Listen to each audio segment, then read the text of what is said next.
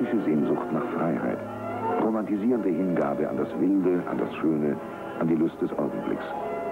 Erträumen einer unberührten Welt, Rückkehr ins Paradies, berauschendes, rauschendes Entzücken am Ungebundensein, am trauervoll genießenden Entsagen, Aufbegehren gegen das Schicksal.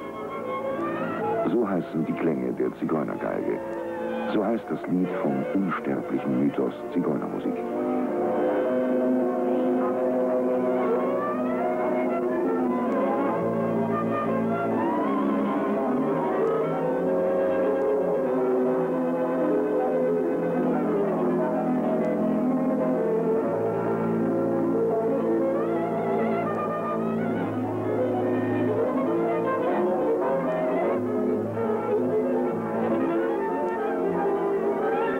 Musik, Tanz und Magie sind schlechthin Synonym für den Zigeuner.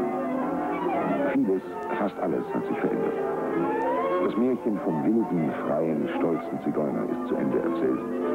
Geblieben sind Bilder, die das schöne Klischee von der Zigeunergeige auch heute noch leise erahnen lassen. Der seelenzerreißende Klang ist geblieben, ist jetzt noch zu hören und damit die Sehnsucht, wo immer sie auch hingehen mag, täglich wiederholbar. Seit dem Ende des 18. Jahrhunderts ist das Musizieren zur anziehendsten und erfolgreichsten Zigeunerprofession geworden. Neigung und Fähigkeiten waren Voraussetzung. Aber das Geheimnis der geradezu märchenhaften Begabung zum Musizieren liegt vor allem darin, dass der Musikantenberuf vom Vater auf den Sohn übergeht.